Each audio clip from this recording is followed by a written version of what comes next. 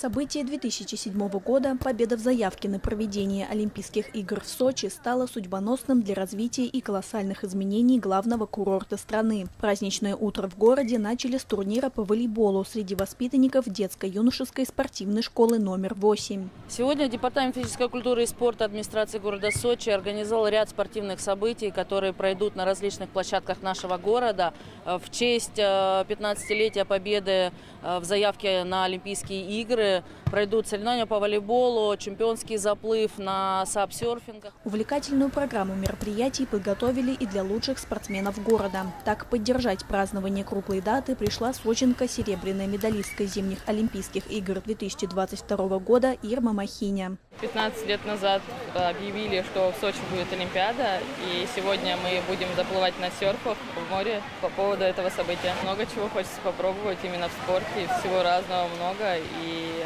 одно из этого – заплыть в серфе. Параллельно с турниром по волейболу для девяти сочинских спортсменов, олимпийских призеров и чемпионов мира провели инструктаж по занятиям сапсерфингом. Настрой праздничный, огонь прям, э, обстановка здесь очень классная, прям праздничный. А, предстоит день. Я на сапсерфе уже катался много раз, и будет приятно провести среди спортсменов и олимпийского чемпиона. Я думаю, все будет классно, прикольно, весело. В дружеской обстановке участники заплыва продемонстрировали свои навыки владения САПом и посоревновались между собой на скорость. Символично их доски были окрашены в цвет российского триколора. Также 4 июля вечером в рамках праздника на площади Северный Мол организован олимпийский забег на дистанцию в 2014 метров. Мероприятие пройдет с участием олимпийской чемпионки, российской теннисистки Елены Весниной. Дарья Дмитриева, Дмитрий Петри. Время новостей детей.